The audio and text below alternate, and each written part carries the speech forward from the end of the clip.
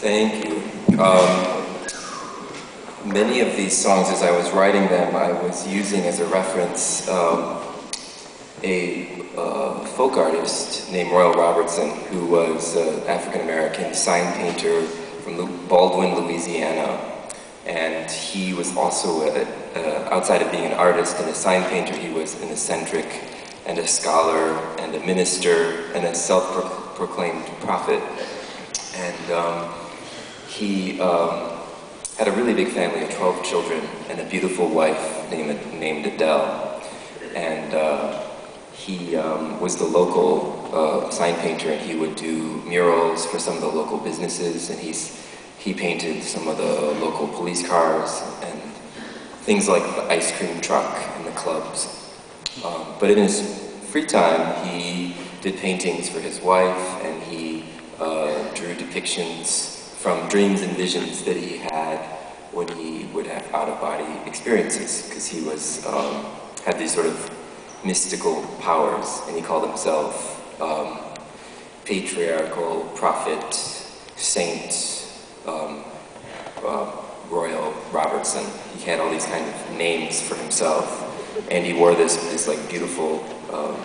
colorful kind of beanie cap, and he dressed in these funny robes, and um, and he built all these sort of wood cutouts with angels and demons and planets and space spacecrafts, and um, he decorated his house with them. Um, and he also was visited by aliens and UFOs, and and then he would write stories about the visitations, and he would draw pictures about them,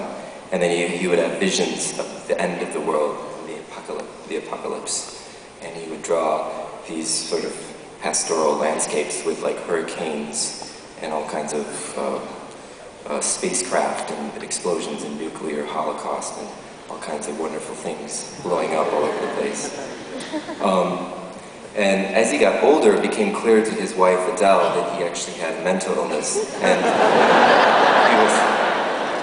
he had schizophrenia and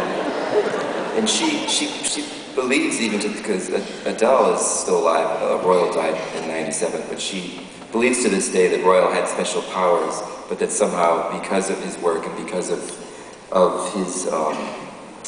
um, obsession with the occult and with myth, mythology and astrology and outer space, that he kind of entered into a creative madness. And for the last two years of their marriage, he um, uh, was sort of on a uh, consistent rampage against the CIA CIA and the FBI and the government, and he believed that um,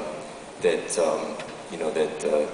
the that the um, Italian mob were out to get him, and that he had been abducted by aliens, and that he had all these special secrets, and he didn't want to have to divulge them, and he felt like he was being tortured, and eventually he started to believe that some of his children weren't his own and were bastard children, and then he um, went so crazy at one point he. Uh,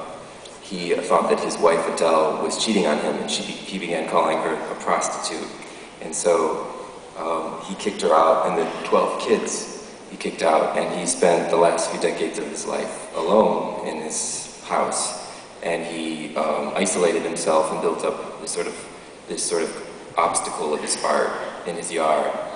and then created within his home all these shrines to different creatures, mythological creatures that he had created and he drew um, designs for automobiles and tried to sell them to the government, tried to sell patents of like the spacecraft and hovercraft and boats. And um, he pretty much isolated himself from everybody, his friends and family, because of his mental illness. And it was only a very few art collectors who befriended him and um, helped him out, gave him some money, uh, bought him art supplies, and tried to uh, make sure that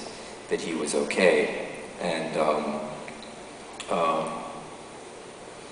and one of these art, art collectors and artists was a friend of mine named Scott from New York City, and I met him just a few years ago, and he um, showed me some of Royal's work, and, um, and I was really inspired and moved by it. And as I was working on a lot of this new material, I found in Royal kind of a bizarre uh, companion to um, to a lot of the work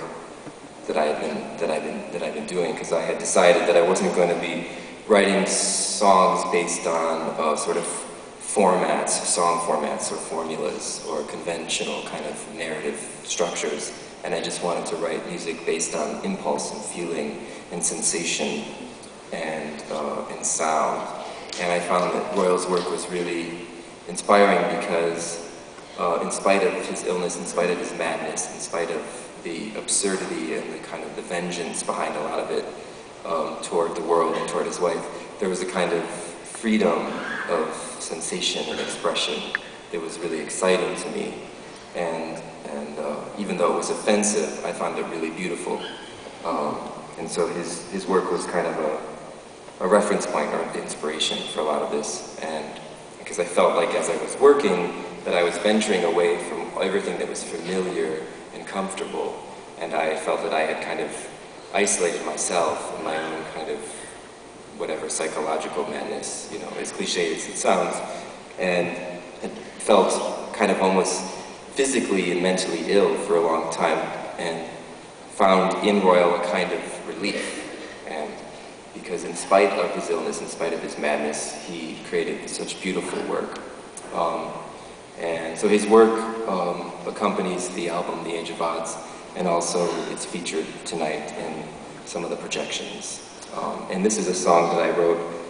sort of for Royal, about Royal, sort of with Royal Robertson in mind. And it's a reality check. It's called Get Real, Get Right.